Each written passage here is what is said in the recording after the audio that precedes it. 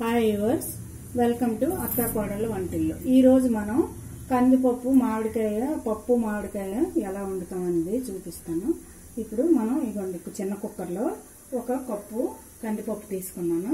తీసుకొని చిన్న కుక్కర్లో బాగా కడిగి ఇలాగా కుక్కర్లోని పప్పు కడుక్కొని ఒక కప్పు పప్పు వేసాను. కడిగి ఒక మూడు విజలు వచ్చే వరకు ఉడికించండి. నేను ఉడికించాను ఇదిగోండి. చూసారా? ఇలాగా మెత్తగా ఉడికింది. ఉడికిన తర్వాత ఇప్పుడు మనం పొయ్యి ఆన్ చేసుకుందాం.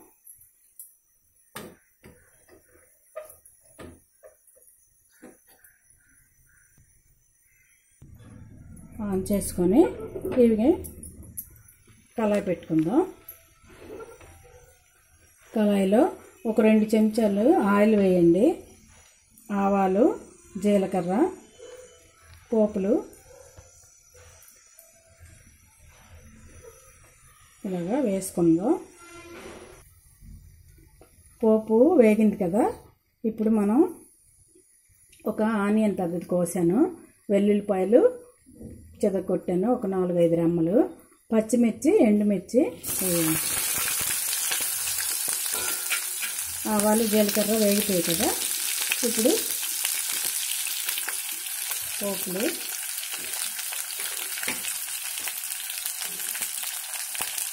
ఇలాగా కరివేపాకు మామిడికాయని ఇలా ముక్కలు కోసుకోండి. ఇవి పప్పు కొంచెం కదా మామిడికాయ ముక్కలు ఎక్కువ అనుకుంటారు. ఇది కలెక్టర్కాయ వేసాను. ఇది తినడానికి బాగుంటుంది. ఎక్కువ పులుపు ఉండదు కదా పిల్లలు గట్రా ఇష్టంగా తింటారు. అందుకోసం మామిడికాయ ఎక్కువ తినడం అవుతుందని నేను కలెక్టర్కాయ వేసాను. ఇది ఎక్కువ పులుపు ఉండదు. అందుకే ఒక కాయ వేసాను. దీనివల్ల మామిడికాయ ఎక్కువ తినడం వల్ల సెలవు చేస్తుంది ఏ విటమిన్ ఉంటుంది. సి విటమిన్ కూడా చాలా పుష్కలంగా మామిడికాయలోనే ఉంటుంది. అందువల్ల మనం వంటల్లో ఇలా ఉపయోగించుకోవాలి.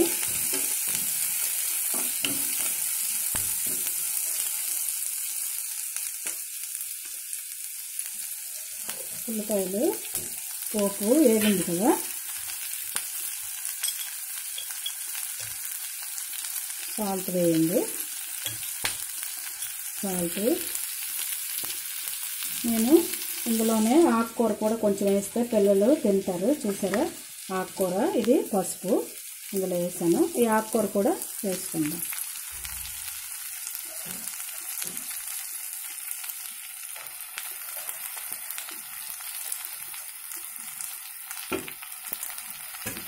ఆకుకూర అంతా ఇది ఒక మూడు కట్టలు పాలకూర.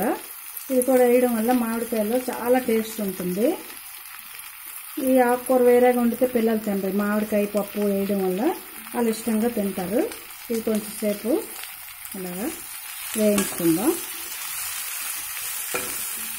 ఒక్క నిమిషం ఆకు మధ్యక మామిడికాయలు వేసుకుందాం. ఆకు బాగా మగ్గింది కదా ఇప్పుడు మనం కోసించుకున్న మామిడి ముక్కలు వేసుకుందాం.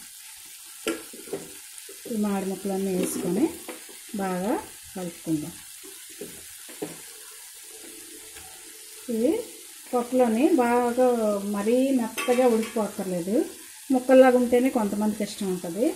అలాగ ఇష్టం ఉన్న అలా చేయండి. లేకపోతే ఇది ఇలాగ వేడికే మగ్గుతాయి మామిడికాయలు. పప్పు మామిడికాయ చాలా ఇష్టపడతారు కదా అందరూ.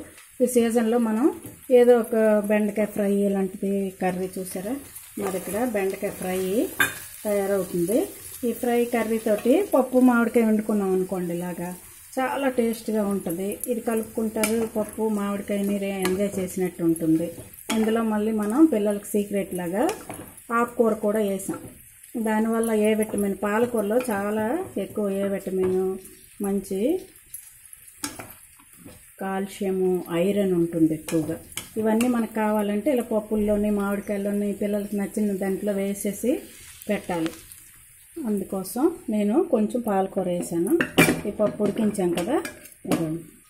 ఇలాగా చేసుకొని ఈ పప్పు అంతా మనం ఇందులో వేసుకుందాం మామిడికాయలోని ఇందులో వేసుకుందాం. ఇలాగా పప్పు వేసుకొని మనం పసుపు సాల్ట్ ఆల్రెడీ వేసాం కదా? ఇలా ఇలాగ. ఇలా కలిపేసుకుంటే దీంట్లోనే మనం కొంచెం వాటర్ వేసుకుందాం. ఈ పప్పు ఉడికించాం కదా ఈ గిన్నెలో నీళ్ళు వేసి ఇలా వేసుకొని కొంచెం సేపు ఒక రెండు నిమిషాలు ఇది ఇలాగ మనం బాగా కలుపుకొని ఉడికించుకుంటే మనకు పప్పు మామిడికాయ కర్రీ రెడీ అవుతుంది. ఒక టూ మినిట్స్ ఇలాగా ఉడికించుకుందాం. టూ మినిట్స్ అయింది కదా ఉడికిందో లేదో చూద్దాము. చూసారా? అంత బాగా కలర్ఫుల్గా మనకి పప్పు మామిడికాయ రెడీ అయింది. పాలకూరతో సహా ఇప్పుడు మనం దీన్ని డిష్ అవుట్ చేసుకుందాం.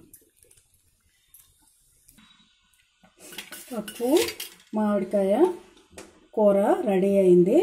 చాలా టేస్ట్గా ఉంటుంది. ఈరోజు మేము బెండకాయ ఫ్రై చేశాను. పప్పుతోటి బాగుంటుందని అది కూడా పెట్టాను. ఇదిగోండి కలెక్టర్ కాయ కాయతోటి వండాను. ఇలాగా మీరు కూడా సైడ్ డిష్లో పప్పు మామిడికాయ సీజన్ అన్నాలు రోజు తప్పించి రోజు అలా వండుకుంటే విటమిన్స్ విటమిన్స్ మంచి టేస్ట్ ఉంటుంది. పిల్లలకి ఏ విటమిన్ సి విటమిన్ చాలా ఎక్కువ వెళ్తుంది. అందువల్ల మీరు కూడా ఇలా చేయండి. మీ ఫ్రెండ్స్కి షేర్ చేయండి లైక్ చేయండి. Okay? Thank you for watching.